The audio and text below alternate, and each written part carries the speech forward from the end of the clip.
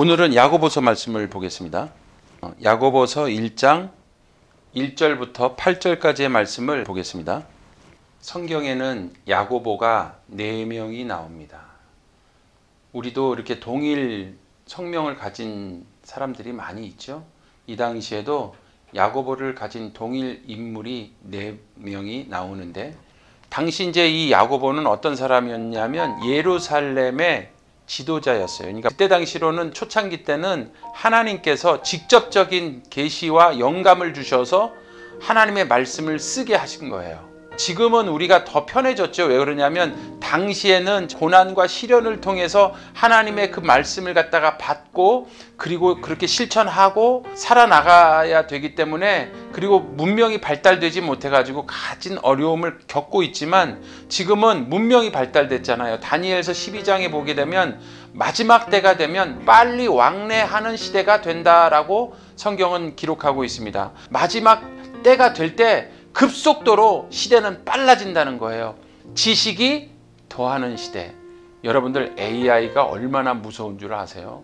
저는 이제 음악 프로그램을 하는데 작곡을 해버려요. 이 야고보가 지금 이 야고보의 장은 마지막 때를 위한 장이에요. 그때 야고보는 그때 당시로 마지막 때라고 생각했어요. 성경이 쭉쭉쭉 풀어지니까 어떻게 돼요? 지금이 마지막 때라는 걸 알, 알겠지만 그때 시대 시대마다 왜 마지막이라고 알면서 하나님께서 쓰게 하셨는가? 마지막이라고 마음을 경각심을 갖지 못하면 준비하지를 못하니까. 그리고 두 번째는 뭐냐면 죽으면 바로 눈을 뜨면 주님을 맞이할 수 있는 말씀이 있어요. 왜냐하면 우리의 생각이 소멸되기 때문에 잠깐 눈을 감았다가 뜨면 주님이 오시는 거예요. 우리가 왜 위 내시경을 받으면 잠깐 자다가 눈을 뜨면 위 내시경이 끝나는 것처럼 죽으면 생각이 계속 뭐 천년 만년 꿈을 꾸는 게 아니에요. 자, 잠을 자지만 꿈을 꾸는 게 아니라 그 사람의 입장에 있어서는 생각이 완전히 소멸돼 버려요. 일도 없고 생각도 없고 아무것도 없는 거예요. 자, 그 말씀이 성경에 있는가 있습니다. 자, 시편을 한번 찾아보세요. 146편을 찾아보세요. 그 호흡이 끊어지면 흙으로 들어가서 그 생각이 어떻게 된다고요? 소멸해버리는 거예요. 그러니까 생각하고 꿈을 2000년, 3000년 짓는 게 아니고 생각이 소멸되니까 잠깐 눈을 뜨면 그 사람 입장에서는 잠깐 자다가 눈을 뜨면 주님 오시는 거라 이 말이죠. 말씀이 또 있어요. 전도서 한번 더 찾아보세요. 전도서. 전도서 9장 10절 말씀을 보겠습니다. 여기 수월, 음부, 여기는 무덤이에요. 무덤에 들어갈 네 무덤에는 일도 없는 게 당연하고요. 계획도 없는 게 당연하죠. 지식도 없는 게 당연하죠. 지혜도 없는 게 너무도 당연하죠. 왜요? 생각이 소멸돼 버리니까. 그냥 그 사람 입장에서는 잠시 잠깐 눈을 뜨면 주님이 오시는 거예요. 그게 마지막 때라고 야고보가 말씀하고 있는 거예요. 그러니까 죽든지 아니면 당시 시대가 마지막인 줄 알고 그렇게 하나님께서 영감을 주셔서 쓰게 하신 거예요. 경각심을 갖게 하기 위해서. 그런데 사실 성경을 쭉 찾아보니까 어떻게 돼요? 마지막 때가 되면 빨리 왕래하는 시대가 되고 지식이 더하고 그리고 처처의 기근과 지진과 온역이 있는데 동시다발적으로 곳곳에 있다 이 말이에요. 전쟁이 일어, 일어나는 일이 우리는 10년 전, 20년 전까지만 해도 생각지 못했는데 마지막 때가 되면 민족이 민족을 나라가 나라를 대적하여 일어난다. 이렇게 말씀하고 있죠. 그렇게 되면 무슨 일이 일어날까요? 갑자기 경제적인 몰락, 그 다음에 파산, 경제가 급속도로 하루아침에 무너지는 거예요. 자, 야복, 야고보가 마지막 때가 되면 어떤 일이 일어났느냐? 자, 5장 1절을 한번 보세요. 5장 아, 1절, 2절, 3절의 말씀을 한번 마지막 때가 되면 금과 은이 녹이 쓴다고 했는데 녹이 안 슬죠. 그건 무슨 말이냐면 돈의 값어치가 떨어지고 하루아침에 경제가 갑자기 몰락한다는 것을 말씀해 주고 있는 거예요. 이처럼 하나님의 말씀은 한치 오차도 없이 하나님의 감동으로 기록된 것이죠. 그렇게 누구도 하나님의 말씀을 따라 믿음으로 살지 못하면 우리는 구원은 정말 장담을 하지 못해요. 당시에 하나님께서 주신 감동으로 쓸 수 있게 야고보를 통해서 말씀을 전한 것은 정말 마지막 때를 살아가는 어, 저와 여러분들에게는 더큰 어, 감사고 당시에 시련과 고초를 겪고 있는 신자들 크리스찬들에게 권면하는 말씀을 하고 있는데 저와 여러분들이 지금 이 땅을 살아가는 때 시련과 고통과 고초를 함께 겪으면서 살아가고 있잖아요. 그냥 살아가는 게 아니라 겪으면서 살아가요. 야고보가 지금 뭐라고 말을 하고 있느냐? 1장 1절에 하나님과 주 예수 그리스도의 종 야고보는 흩어져 있는 열두 지파에게 문안한다고 그랬어요. 그리스도의 종 이렇게 나옵니다. 종은 야고보 자신이 하나님과 예수 그리스도의 소유된 자임을 밝히는 거예요. 소속감이 정확합니다. 주인에게 소속된 상태 얼마나 자랑스러운 것인지 몰라요. 하늘의 직분이에요. 그렇기 때문에 우리가 함부로 행동해서도 안 된다는 거예요. 여기서 문안하노라의 이 카이레이는 즐거워한다, 기뻐한다는 의미예요. 야고보는 당시에 박해가 심했거든요. 지금 우리는 괜찮아요. 왜 괜찮아요? 편안히 밥 먹고 예? 눈 뜨면은 예? 일용할 양식들이 다 널려져 있잖아요. 하나님께서 그렇게 여러분들에게 하늘의 만나를 주신 거예요. 우리가 내가 잘나서 밥을 먹고 내가 잘나서 잠을 자는 게 아니에요. 하나님이 그걸 막으시면 우리는 길거리에서 잘 수밖에 없고 밥도 못 먹을 수도 있어요. 그러나 하나님께서는 그 사람들까지도 생각하셔서 다 일용할 양식을 인도하시는 거죠. 그들의 선택이잖아요. 하나님은 그 누구도 예외 없이 하늘의 만나를 계속 지금도 촉촉하게 내려주시고 있는 거예요. 그런데 그때 당시로는 심했어요. 예수 믿는 사람들을 잡아 죽이는 사자굴에 넘기고 예? 원형 경기장에서 사람을 끌어가지고 서로 격투하게 만들고 칼로 사람을 쳐서 죽이게 만드는 그러한 시대였어요. 그러나 예수 믿는 사람들은 그 믿음의 선진들이 있었기 때문에 우리가 지금 이 성경을 그래도 받아볼 수가 있었던 거예요. 그 서, 믿음의 선진들이 없었다면 우리 성경이 어떻게 됐겠어요? 그래서 그들의 순교가 얼마나 고귀한지를 몰랐어요. 그런데도 불구하고 그들에게 야고보는 뭐라고 그랬어요? 기뻐하고 감사하라고 얘기했어요. 근데 지금 우리가 조금 이 고난을 받고 있어요. 지금 조금 우리가 마음이 아픈 게 있어요. 당연히 기뻐하고 당연히 우리가 감사해야죠. 왜냐하면 주님 오실 날은 이 시대 진짜 우리는 맞이하고 있기 때문에 그래요. 당시에는 그때가 죽음 아니면 주님이 오시는 시대를 맞이할 수 없었지만 지금은 정말 그러한 시대이기 때문에 더욱 그렇습니다. 2절에 뭐라고 했냐면 내 형제들아 라고 어, 야고보는 얘기했거든요. 이 형제라는 표현은 무슨 표현이에요? 따뜻한 사랑의 표현이에요. 우리가 서로 만날 때 교제할 이렇게 인사하잖아요. 그러면 우리는 다 형제 자매잖아요. 한번 보는 것도 얼마나 기쁘고 얼마나 행복한지 몰라요. 우리의 마음속으로 다 형제 자매이기 때문에 그래요. 믿음의 사람이기 때문에 그래요. 믿음의 사람이 아니면 만나면요 다 세상적이에요. 다 놀러 가기 바쁘고 그런데 이 야고보는 뭐라고 얘기를 해요? 박해를 받고 시험을 받는 사람들에게 기쁘게 여기라고 말씀하고 있는 거예요. 마지막 때 우리는 기뻐해야 될 줄 믿습니다. 여기서 시험이라는 말이 또 나오죠. 내적인 시련이 아니라 외적인 시련이에요. 내가 유혹을 받는 시험이 아니고 밖에서 나를 공격하는 거예요. 또 여러분들이 실질적으로 어, 세상에서 생활하다가 보면 믿는 사람으로서 불이익을 당할 때가 참 많이 있지 않습니까? 어떨 때는 억울한 일을 당할 때도 있어요. 예, 그러한 시험과 시련을 만날 때 이기기가 쉽지 않지만 이제 조금 참, 참으셔야 돼요. 우리가 주님 만나는 그러한 사람의 성품으로 바뀌어져 있어야 되기 때문에 그렇습니다. 근데 그 시험을 이겼을 때 뭐가 생겼어요? 인내를 만들어 만든다. 자, 3절 한번 읽어 보세요. 시작. 이는 너희 믿음의 시련이 인내를 만들어내는 줄 너희가 압니다. 그러니까 시험이 기쁨이 원인이 되는 것은 인내라는 이 정금이 탄생이 되는 거예요. 인내가 딱 오게 되면 다음에도 또 그 인내로 또 그것을 극복하고 이기고 나갈 수 있는 거예요. 마음이 외부로부터 올 때는 속이 상하죠. 그러나 그것을 이기고 기도할 때 우리에게는 인내라는 아주 정금 같은 고귀한 것이 생긴다라는 것이죠. 온전히 인내를 이루는데 이루는 게 아니라 온전히 이루라고 권면하면서 조금도 부족함이 없다라고 없게 하라고 사절은 말씀하고 있는 거예요. 온전히 이루라는 것은 포기하지 말고 끝까지 참고 견디라는 거예요. 참 힘들죠?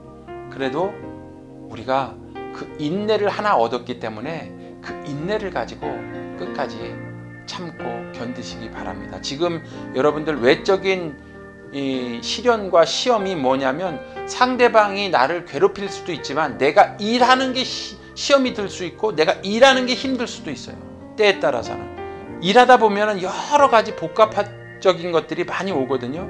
그러다 보면 사람이 말하는 게 예민해질 수가 있어요. 나도 모르게 예, 까다롭게 내 말이 흘러나갈 수 있어요. 그렇지만 그걸 지금 온전히 이루라고 말씀하고 있네요. 온전하라는 것은 예수님의 성품으로 인쳐진 상태를 말하는 것이기 때문에 그랬어요. 인내를 갖춤으로 부족함이 없는 상태에 더 나아가야 주님의 성품의 단계에 이르기 때문에 그래요. 저와 여러분들이 이 땅을 살아가면서 믿음 생활하기는 참 쉽지가 않습니다. 그러나 이제 주님 오시는 날이 얼마 남지 않았어요. 그렇기 때문에 우리가 우리의 수명을 다하든지 아니면 주님이 오시든지 둘 중에 하나거든요. 여러분들과 제가 인생 이제 3분의 2를 살한 거예요. 3분의 1이어봤자 얼마 남지 않았어요.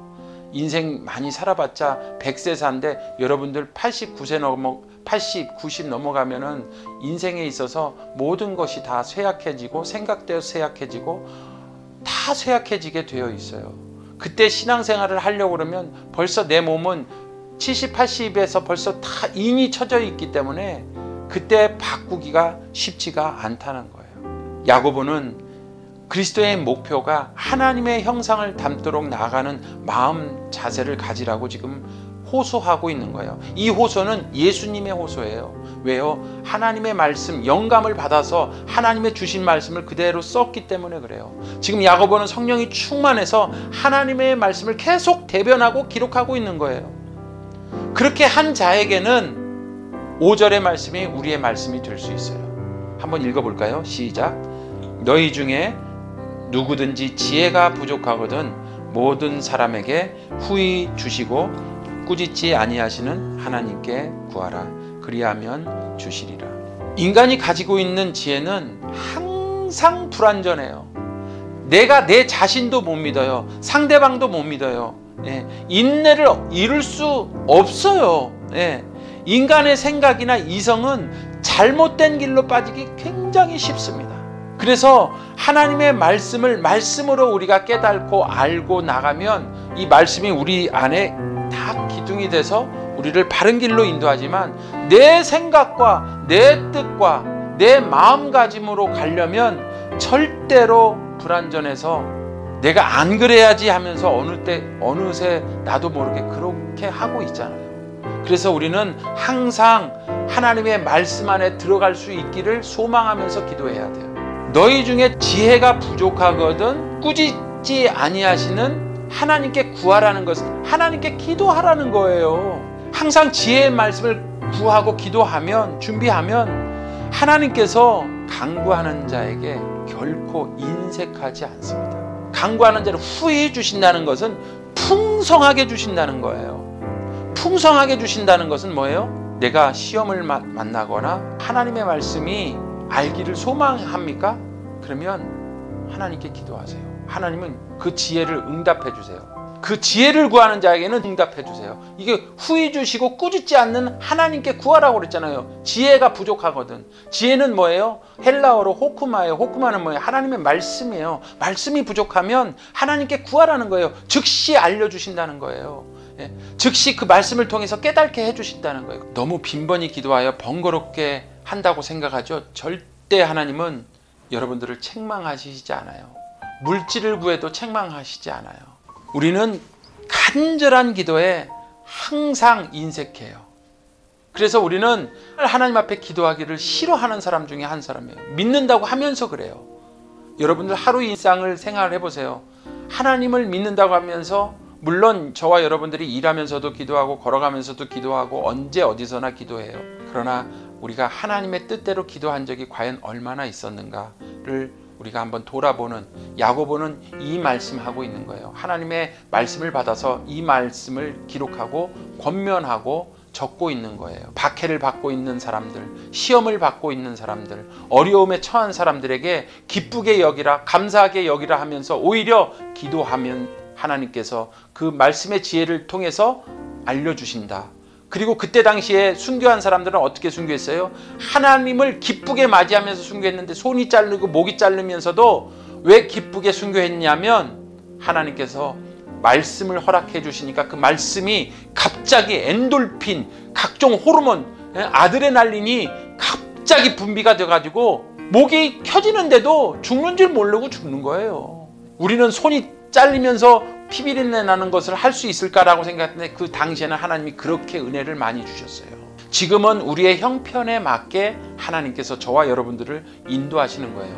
지금 목 잘리면서 우리가 예수 믿으라고 하면 다 도망가죠. 이 믿음 갖고는. 그러나 우리가 죽으면 죽으리라는 믿음을 갖고 살아야지 우리가 주님을 만날 수 있다라는 거예요. 모든 사람이란 어, 기도하는 사람을 가리켜요. 여기서 기도하는 모든 사람에게 풍성하게 주시기 위해서 하나님께서는 지금도 항상 준비하고 계시는 분이심을 이 야고보는 설명하고 있는 것입니다. 1장 6절 한번 볼까요? 시작. 오직 믿음으로 구하고 조금도 의심하지 말라. 의심하는 자는 마치 바람에 밀려 요동하는 물결 같으니. 기도는 믿음으로 하는 것이어야 해요. 믿음은 지혜를 구하는 그리스도인들에게 하나님께서 반드시 나에게 응답해 주신다는 약속을 확신하고 신뢰하는 것입니다. 이 의심하는 것은 저울질한다는 거예요. 뜨뜻미지근한다는 거예요. 이것도 아니고 저것도 아니고 상황에 따라서 심리적으로 두 마음을 품어가지고 분리된 상태를 말하는 거예요. 그런데 이런 사람에게는 하나님께서 어떤 결과를 내주실까요? 7절을 한번 보세요. 시작. 이런 사람은 무엇이든지 죽게 얻기를 생각하지 말라. 여러분들 이런 사람은 어떤 사람이냐면 기도할 때 자기 뜻대로만 기도하는 사람이에요. 자기 뜻이 하나님의 뜻인 것처럼 매도해 버릴 때가 많아요. 자신도 모르게 하나님마저도 나는 안 그런 것 같지만 하나님마저도 의심하는 거예요. 그것은 예. 내가 하나님 앞에 기도를 했어요. 그러면 맡겨버리는 거예요. 주님께서 이끌어 주심을 믿는 거예요. 철저하게 자기 뜻대로 몰고 가지 않기를 바랍니다. 말씀은 들어요. 기도도 해요. 열심입니다. 그런데 온전히 자기 뜻이에요. 물질과 이 땅의 것은 하나님과 전혀 상관이 없어요. 사실은. 여러분들과 제가 상관이 있죠. 물질, 돈, 땅, 아파트 나와 상관이 있는 거예요. 하나님은 전혀 상관이 없어요. 그때 우리는 맨 그것만 달라고 해요. 하나님의 뜻은 전혀 상관이 없는데 하나님의 뜻이 무엇인지를 우리는 알질 못해요. 예. 무엇을 하나님께서 우리에게 후히 주실까요? 후히 주시면 풍성하게 주신다고 그러는데 하나님의 뜻이면 돈을 풍성하게 주시죠. 그런데 돈은 여러분들 필요한 만큼 우리가 꼭 해야 할 만큼만 주세요. 예. 그 도를 넘어가지 않게 주신다 이 말이에요. 시대 시대마다 하나님께서는 하나님의 백성들을 그렇게 인도하셨어요. 왜요? 하늘에서 떨어지는 만나만 먹고 살게 해주셨다 이 말이에요. 하나님께로 받는 것은 자신의 사리 사욕을 채워지는 것밖에 전혀 신경이 안 쓰면 안 되잖아요. 가장 중요한 것을 받을 수가 없어요. 가장 중요한 게 뭐예요? 아까도 얘기했듯이 지혜예요. 호크마예요. 하나님의 생명의 말씀보다 더 큰 것이 없어요. 그게 보석이고 그게 진주거든요. 하나님의 말씀이 생명이 거기에 있거든요. 그래서 우리가 말씀을 배우고 말씀을 따라 사는 거예요. 그것을 놓치면 우리는 구원이 없어요. 예. 기도할 때마다 하나님을 따라 살아가고 하나님의 의지에 맡겨야 되는데 자기 판단에 맡겨버리면 그것은 어리석은 자가 되고 마는 것이에요. 그래서 1장 8절 우리 끝에 뭐라고 했냐면 두 마음을 품어 모든 일에 정함이 없는 자라고 하잖아요. 두 마음을 품지 않고 한 마음으로 품어서 그 마음이 결단을 내려서 이제 주님을 향하는 저와 여러분들이 되시기를 간절하게 바랍니다. 아, 마태복음 한 장 더 읽겠습니다. 13장 44절, 45절, 46절. 천국은 마치 진주 이렇게 써 있잖아요. 천국을 가르쳐 주는 말씀. 그 말씀 진주 하나를 발견하고 뭘 한다고요?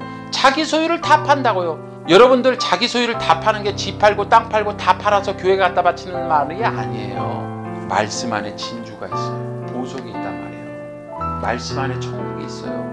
이 천국을 발견하기 위해서 자기의 시간, 그 생각, 자기의 마음, 모든 자기 자신을 온전하게 올인하는 거예요. 야고보가 핍박을 받고 순교당하는 그들을 위해서 시험을 만나거든 기쁘게 여기고 감사하라고 권면을 하고 또 후히 주시고 꾸짖지 않은 하나님 앞에 지혜를 달라고 기도하라고 권면하고 있어요. 우리는 지금 편안히 살고 있고 마지막 때이면서도 평안하다 안전하다 우리가 하고 싶은 대로 우리의 뜻대로 하나님 앞에 구할 때가 너무도 많이 있지 않습니까? 이 말씀을 보면서 우리가 한 번 더 깨닫고 이제 곧 나머지 3분의 1이 인생을 살다가 우리는 오늘 갈지 내일 갈지 언제 갈지 몰라요. 갈 때는 순서가 없습니다.